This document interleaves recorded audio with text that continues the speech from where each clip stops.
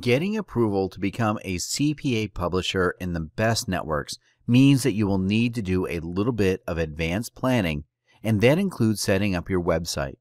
This preparatory work will pay off well, though, so it is worth taking the time for. The following steps should make it easy. 1. Get your own URL. Having your own dedicated site looks much better than having some sort of extension added to a free site such as www.freesite.com slash my website. GoDaddy.com or Register.com are both great domain registry sites that should cost under $15 for each domain that is purchased. It's best to choose a .com address because that is what most people automatically look for. Also, choose a name that is relevant to the market you want to promote. If you aren't sure, choosing a short, catchy, and easy to spell name is your best option. Also, begin using an email address that has your URL in it, such as Jimmy Bays at mycpasite.com. This is especially important to use for registering at the CPA networks because they will probably turn you down immediately if they see you're using a free email service to do business through. 2. Create a professional looking website by either paying a webmaster or using free services such as WordPress. Not only is WordPress free with loads of plugin options, it is used by Fortune 500 companies. So, yes, it's that good. WordPress is created to be extremely user friendly to set up and launch. Just follow those step by step instructions at WordPress.com. In no time, you will be ready to design your site. You might want to add separate pages, such as an About Us page, Contact Us page, General Blog page, separate landing pages or other pages, and those are simple to include just by choosing New Page in the WordPress dashboard.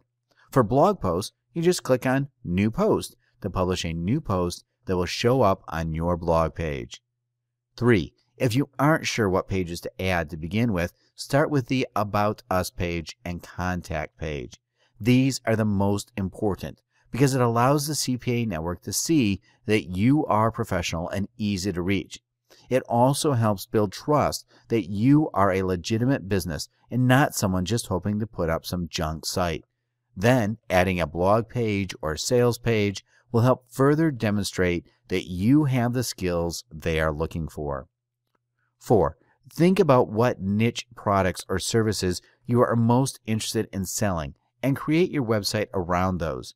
If you want to promote a collection of CPA ads, you certainly can, but try to stay as relevant as possible for the best results or consider setting up separate websites for completely different topics. This is the best way to become successful because people will feel like you are an expert in whatever topic or topics you are promoting over having tons of ads that don't have anything to do with each other. For example, if you own a hunting website, you probably wouldn't come across as being relevant for teenage girl acne products. But if you had a self improvement or business site, there are literally hundreds of different types of products that would all be relevant to promote. 5. Keep your design themes, including colors and images, in mind to create an appealing website so the CPA network will see that you will represent their advertisers in a tasteful manner. WordPress has a great selection of themes you can choose from. Then you can upload your own high quality images or find them at services such as thinkstock.com or stockfreeimages.com to name a few. 6. Add some high quality content so you can demonstrate to the CPA networks that you will represent their advertisers in the best possible way.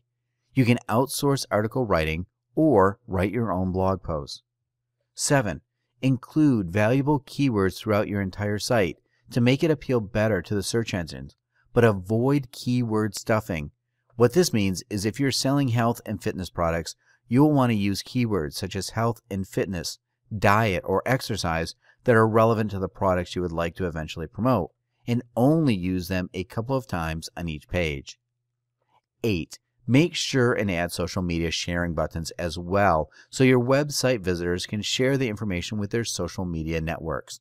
You can also install a plugin that will automatically share your content with your own social media networks.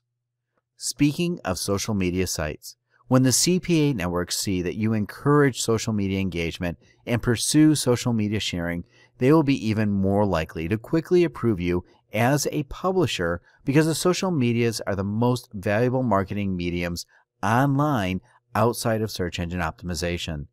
The best social media networks will have the highest concentration of the market you are hoping to appeal to, such as Reddit for the young and hip crowd, or LinkedIn for the business crowd.